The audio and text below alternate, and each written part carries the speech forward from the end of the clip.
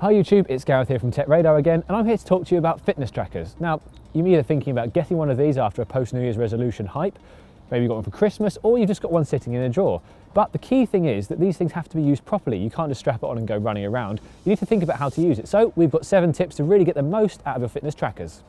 If you don't have one already, you need to think about getting the right wearable for you. Now, there are three types on offer. You've got the fitness tracker, the running watch, and the smartwatch, and all offer really different things. The fitness tracker is very basic. It might count your steps, it may do a little bit of heart rate stuff, but it's a very basic device. Then we move up to running watches, which can do a lot more. It can help you get ready for a marathon or even just a 5K. It uses GPS. It's got a lot of different bits and pieces that help you really get fit for a specific thing. Then we've got smartwatches. Now these are the more jack of all trades. They can download apps so you can do a variety of different fitness things, but essentially they're more of a phone extension with maybe a heart rate monitor built in. You need to make sure you get the right one for your needs. Right, let's talk about setting your goals because that's really important. Now, all these devices can track your steps. That's really good. It means that you know exactly how many you're going to be taking each day and 10,000 a day is generally considered healthy. But if you set yourself a goal that's too easy, you're not going to do it. And if it's set too hard, it's unrealistic. So think about how many you do each day, take an average, work it out, and then maybe add a thousand each time so you stay with your fitness tracker and really get the most out of it. Okay, listen up because this is really important, but configuration, it's critical. Now, when you turn on the app for your fitness tracker, it'll ask for things like gender and your height and your weight. Now, these are really important and you might be tempted to skip over them, but if you don't put them in, it won't know who you are. It won't know how fit you're going to get and how exactly you move day to day. So make sure you input this data and do it as accurately and as truthfully as possible. How you weigh your fitness tracker is also really important too. If it's too tight, the heart rate monitor won't work. And if it's too loose, the data will be inaccurate and that's no use to anybody. So make sure that it's always in contact with the skin, but not cutting off circulation. Another tip, keep to a regular charging schedule. Now, if you've used a fitness tracker before, you'll know the pain of breaking a streak.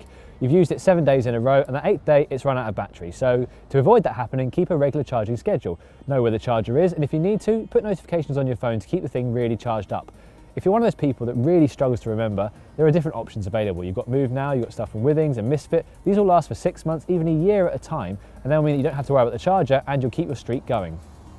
So you've got your fitness tracker and you want to do more. The good news is your friends can help, and not by being encouraging, but being there to be beaten, to be crushed.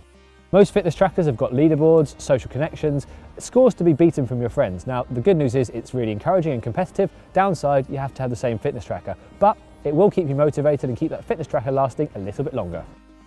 Always make sure you've got the latest software running on your fitness band. This is really important because manufacturers often issue updates to help with connection issues, make sure accuracy is better, and generally keep the fitness tracker up to date. Always have a look in your smartphone's application to see if there's an update available, usually in the About section of settings. Okay, you've listened to the first six tips, but this is the big one. This is the important one. If you don't have willpower, you're not going to make this work. A fitness tracker is a brilliant tool and it can make you a healthier person, but you have to want to do it. You have to fit it into your lifestyle in different ways and become more active as a result. If you don't make the change, nothing's going to happen. Thanks for watching YouTube. If you've got any fitness tracker tips yourself, please let us know in the comments below. And a big thank you for liking, a massive thank you for subscribing, and stay tuned for more great fitness tips like these ones.